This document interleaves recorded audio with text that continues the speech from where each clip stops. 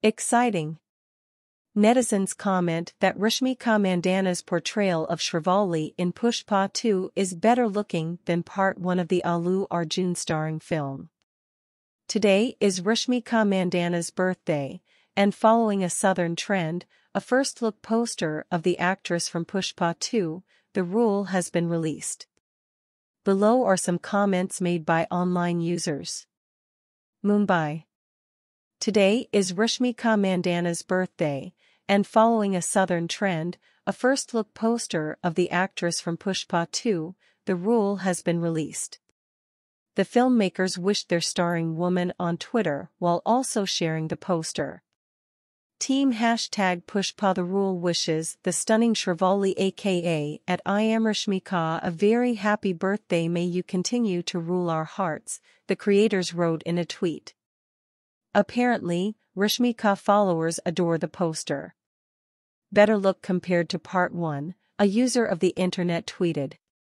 Only reason to watch Pushpa 2, wrote another admirer on Twitter. Oh damn, another internet user tweeted. Srivalli following marriage. The style is. Considering her appearance and the red sari, I'm positive it's a song. Take a look at the tweets below. Indeed, Pushpa Part 1 helped Rashmika's career. The actress was well known in the South, but thanks to Pushpa, she has gained national recognition. The performance she will provide in Pushpa 2, The Rule is greatly anticipated by her admirers.